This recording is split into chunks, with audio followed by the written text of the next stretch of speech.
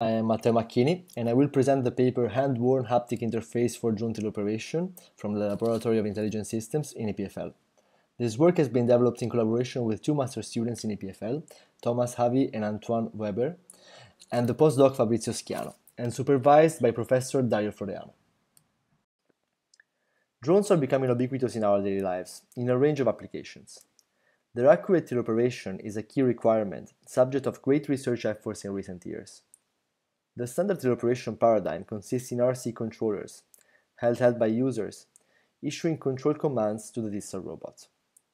A recent alternative, proposed in several research studies, is the employment of body motion as a novel paradigm. This system translates body motion into commands for the distal drone, and they have proven to be more intuitive than standard methods. Also, they allow the use of haptic feedback as an additional source of information for the user, on a larger body surface compared to standard held hand controllers.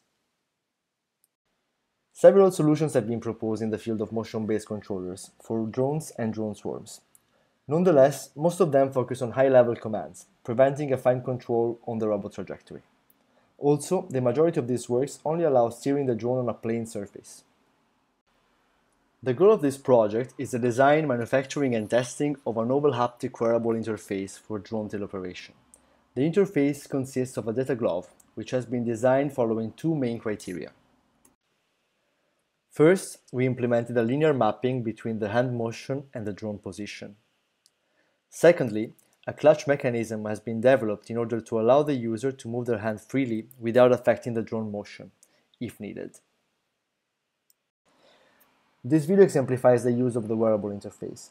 The hand motion is tracked by a motion tracking system and the drone follows its trajectory with a scaling factor. The user is holding a computer mouse to take off and land and to activate the clutch.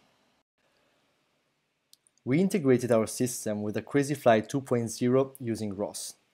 As you can see, the delay is minimum and the drone is quite easy to control. Three criteria were considered for the haptic functionality design. First, we installed six tactors on the glove to represent the obstacles on the three axes. The drone was equipped with omnidirectional distance sensors to detect the obstacles, and the distances were mapping into tactor's vibration proportionally to the obstacle proximity. When the drone approaches a lateral surface, the corresponding motor is activated, as in the video. We ran a set of user studies to validate our interface. First, we evaluated the haptic interface in terms of response time and decoding accuracy of the haptic cues. Later, we tested the efficiency of the motion control in a navigation task. To our knowledge, our work is the first to assess the performance of a motion-based operation with respect to a standard remote controller. Finally, we evaluated the haptic functionality for obstacle avoidance in three realistic scenarios. All three operation tests were completed by a NASA TLX survey to evaluate the user's cognitive workload and additional personal feedback surveys. 10 subjects took part to the haptic validation study, which was run in two sessions. First, the response time was measured, showing that cues could be detected in average in less than 0.5 seconds. Later, we assessed the clarity of our cues, asking the subjects to recognize the direction of the vibration. The subjects showed an accuracy above 98%. In the figure you can appreciate the setup for the navigation experiment, Nine subjects wore a head-mounted display and interacted with a drone simulator, implemented in Unity 3D. Four additional subjects ran the experiment on a real drone. All subjects ran the experiment both with a remote controller and the proposed interface. The starting one was chosen in pseudo-random fashion. This is the simulation in Unity 3D.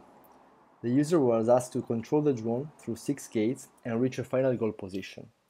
Visual feedback was provided about the occurred collisions.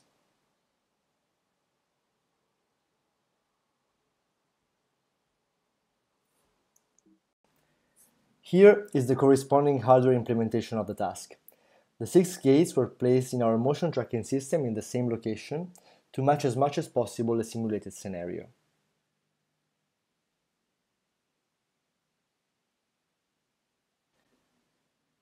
In the figure you can appreciate the results of the navigation task.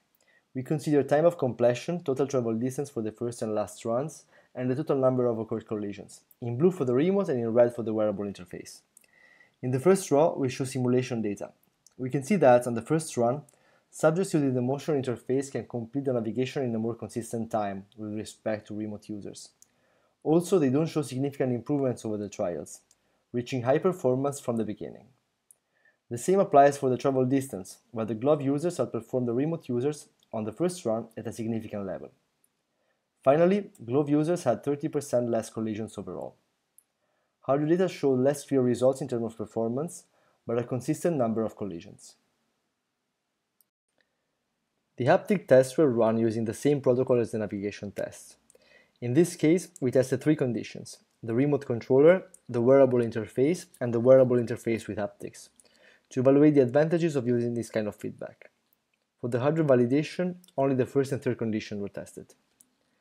The goal of the task was to control a drone in three common situations, where the limitations to visual feedback might be insufficient.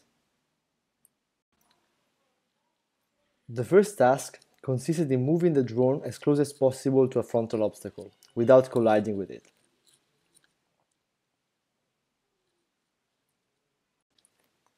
The second and third tasks consisted instead in crossing a vertical and horizontal window, which were close to the frontal view of the user. In this way, it becomes more complicated to perceive the depth of the passage.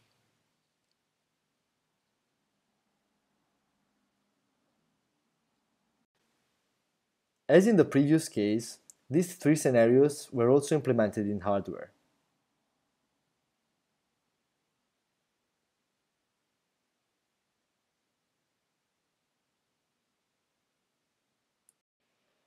In this case, the sensing was performed on board by the drone, and the distance data were used to activate the motors through a controller board. This haptic functionality aided the user to avoid collisions during the task.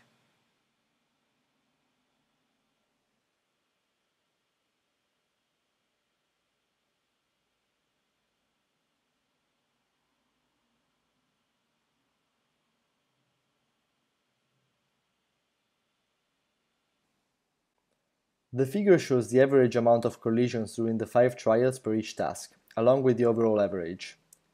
The top row corresponds to simulations, the bottom one to hardware tests. In blue, we can see remote control users, in red, glove users, and in green, users adopting the haptic-enabled glove. We appreciated a significant difference in collisions between the haptic group in green and the other two, in all cases. Hardware tests confirm the simulation results. Here we show instead the performance achieved during the haptic test. In the first column we show the average distance from the wall in task 1, in all the cases in which the drone did not collide with it. The lower the better. We see an improvement in performance with the use of the wearable interface, which becomes significant with the inclusion of haptics. In the second and third row, we show the intersection point between the drone trajectory and the passage tractor, in the horizontal and vertical passage cases. Here we can clearly see that haptic users show a significantly smaller variance in the crossing position. This means that they intersected the structure more consistently close to the center of the passage. Again, the hardware tests confirm the simulation results. In conclusion, this paper describes the design, manufacturing and testing of a novel haptic wearable interface for drone teleoperation. We would like to give four final take-home messages. First, the design of the haptic cues was successfully tested, showing a short response time, less than 0.5 seconds, and an interpretation accuracy close to 100%. Later, we tested the performance of the wearable interface compared to a standard remote controller. In this case, the haptic function was not enabled. Subject has to steer a drone over a predesigned path saved, in average, 20% of the time and travel 33% shorter trajectories, showing a clear improvement in performance in simulation.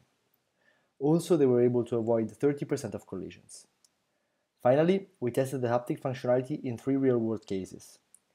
These experiments proved that the haptic function allowed the operator to avoid a significant number of collisions, over 50%. Also, precision was enhanced by the haptic feedback. Overall, more than 80% of the subjects preferred the proposed interface over a standard remote controller, finding it more intuitive and more engaging. Most of the subjects declared that the haptic feedback was of great help in improving their depth perception. Thank you for your attention.